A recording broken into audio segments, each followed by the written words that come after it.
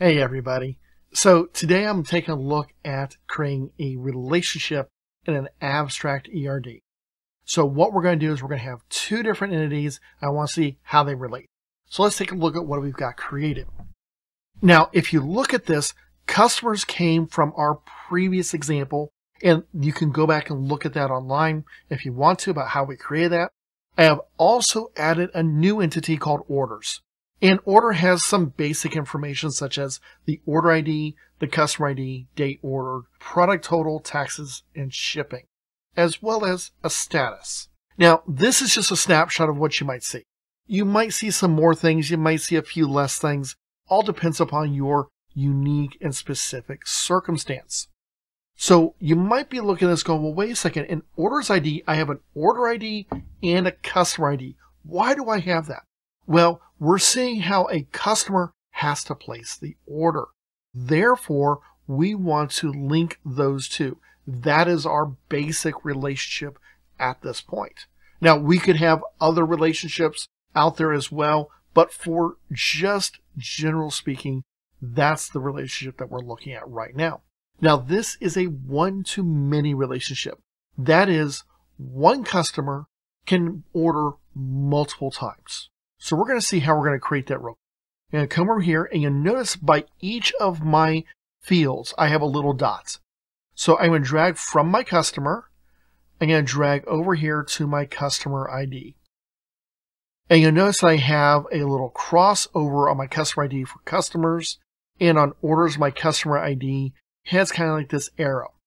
That shows there's one customer ID and it can occur multiple times inside my orders. Now, I can have multiple customers, but each of those customers can have multiple orders. I cannot have, with this instance, one order that has multiple customers. And that's an important thing. If you think about it, that's the way it typically works. You know, if I go down to my local grocery store, I'm the one who's paying, okay? It's only me who's ordering it. The person behind me in line they've got their own order. Same thing if I go to Amazon or any other type of e commerce site. I'm the one who's doing the ordering. This is my order. I'm a customer. I pay my money. I get my products. This is a very typical thing that one to many. Now, a lot of times people like to put a description in here.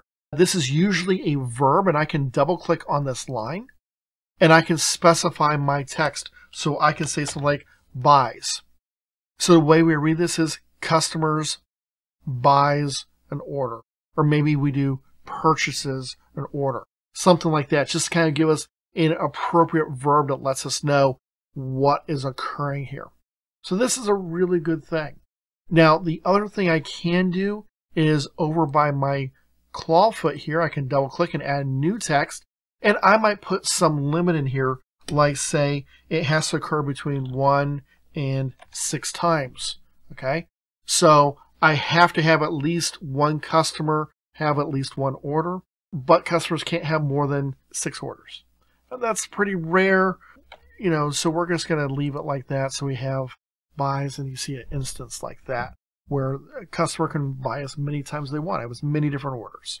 And so we often think of this as an infinite number of times.